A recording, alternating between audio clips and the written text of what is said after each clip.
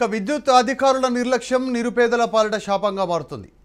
ఒక్క లైట్ ఒక్క ఫ్యాన్ ఉన్న ఇంటికి కూడా వేలల్లో కరెంటు బిల్ రావడంతో బిల్లు చూసి వినియోగదారులు కంగుతింటున్నారు జయశంకర్ భూపాలపల్లి జిల్లా టేకుమట్ల మండలం రామకృష్ణాపూర్ గ్రామానికి చెందిన ఎడ్ల కొమరయ్య ఓదమ్మ అనే వృద్ధ దంపతులు చిన్న రేకుల ఇంటిలో ఉంటున్నారు.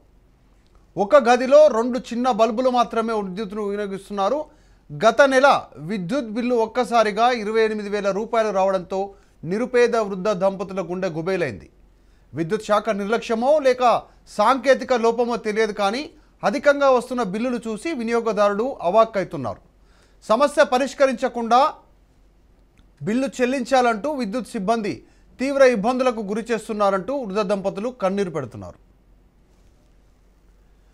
రోజు రోజుకు విద్యుత్కి సంబంధించినటువంటి బిల్లులు ఎక్కువగా వస్తూ ఉన్నాయి. వినియోగించకున్నా ఎక్కువ సంఖ్యలో ఎక్కువ మోతాదులో బిల్లులు వస్తుండడంతో సామాన్యులు అవాక్కవుతున్న పరిస్థితి రాష్ట్రంలో కొనసాగుతోంది. అలాంటి సంఘటనే ప్రస్తుతం తెలంగాణలో జరిగింది.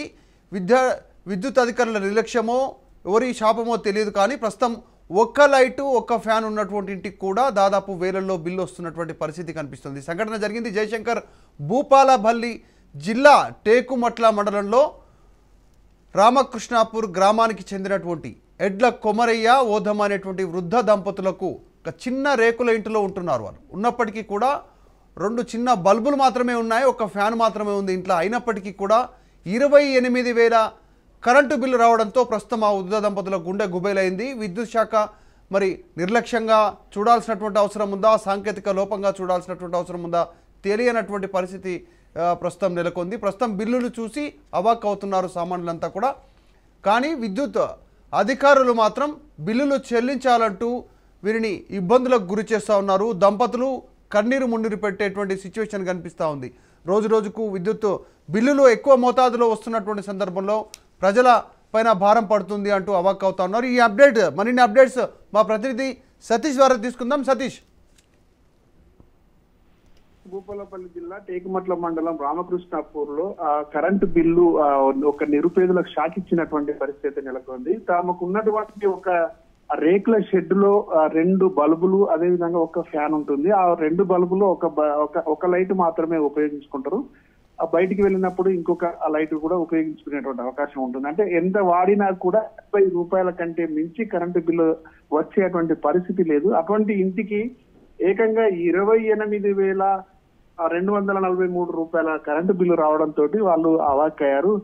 ఆ వృద్ధ దంపతులు ఇద్దరు జీవనం సాగించి వాళ్ళకు వచ్చేటువంటి ఆ పెన్షన్ ద్వారా జీవనాన్ని సాగించేటువంటి వాళ్ళకు ఇంత పెద్ద మొత్తంలో కరెంటు బిల్లు రావడంతో ఒక్కసారిగా ఆ షాక్ గురైనటువంటి పరిస్థితి. దీనికి సంబంధించి విద్యుత్ శాఖ అధికారులు అడిగినా కూడా వాళ్ళు సరిగా రెస్పాండ్ కాకపోవడం ఆ విద్యుత్ బిల్లు కొట్టేటువంటి వ్యక్తి అది జంప్ అయిందని చెప్పినప్పటికీ కూడా దానికి సంబంధించి సరి చేయడానికి అధికారులు ముందుకు రాకపోవడంతో పాటుగా బిల్లులు చెల్లించాల్సిందే అంటూ హుకుం జారీ చేయడంతో ఆ వృద్ధ దంపతులు ఆ బోరున విలపించేటువంటి పరిస్థితి ఏర్పడుతుంది. మొత్తానికి ఆ విద్యుత్ శాఖ అధికారుల నిర్లక్ష్యం కారణంగా లేకుంటే అక్కడ ఉండేటువంటి పని విధానం ఆ సాంకేతిక పరమైనటువంటి లోపం కారణంగానో వాళ్ళైతే ఇబ్బందులకు గురి చేసినటువంటి పరిస్థితి నెలకొంది. ఇప్పటికైనా విద్యుత్ శాఖ అధికారులు స్పందించి అందులో లోపాన్ని గుర్తించి అది సరిచేయాల్సిందిగా ఉద్యోగం కోరుతున్నారు దీంతో పాటుగా అనేక చోట్ల ఇటువంటి అవకతవకలు జరుగుతున్నా కూడా అధికారులు వాటిని నియంత్రించి వాటిని సరిచేసి ఎవరైతే బాధితులున్నో వాళ్ళకి న్యాయం చేయాల్సినటువంటి అవసరం అయితే ఉందని కోరుతున్నటువంటి పరిస్థితి ఉంది ఈ మధు. రైట్ సతీష్